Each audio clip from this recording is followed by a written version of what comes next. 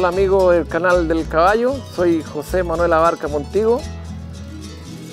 En todas estas pegas uno tiene que irla firmando un poquito con la espuela para que el caballo vaya haciendo los ejercicios.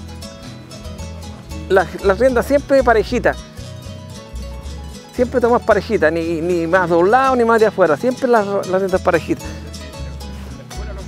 Y uno lo va firmando con la espuelita y el caballo ya le empieza a sacar las patitas.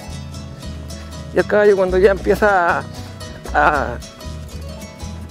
avanzar más rápido con, en la postura, uno le empieza a dar el galopito.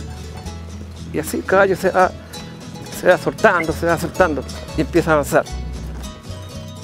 Y los invito a ver el programa Arregladores, donde les voy a contar eh, algunas cosas de del arreglo del trabajo del caballo.